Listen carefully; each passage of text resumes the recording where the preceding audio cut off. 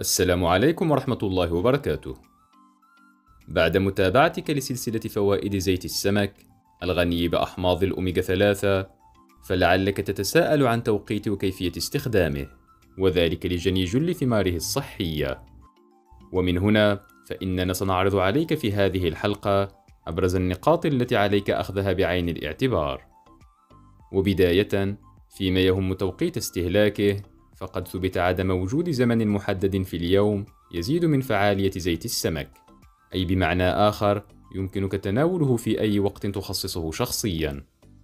في حين ما يهم طريقة الاستفادة منه فحسب دراسة نشرت عام 2019 بمجلة الرأي الحالي في التغذية السريرية والرعاية الأيضية فإنه للرفع من التوافر البيولوجي لأحماض الأوميغا 3 يفضل تناول المكملات مع وجبة تحتوي على الدهون الصحية وبالتالي تسهيل عملية امتصاصها من طرف الجسم.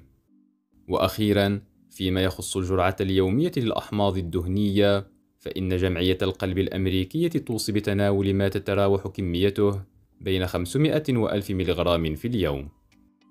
وقبل إسدال الستار على موضوعنا تجدر الإشارة إلى إمكانية ظهور أعراض توجب التوقف عن استهلاك زيت السمك.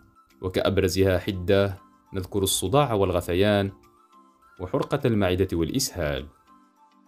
وختاما لحلقتنا نرجو عزيزي المشاهد أن تشارك الفيديو مع الأصدقاء لتعم الفائدة.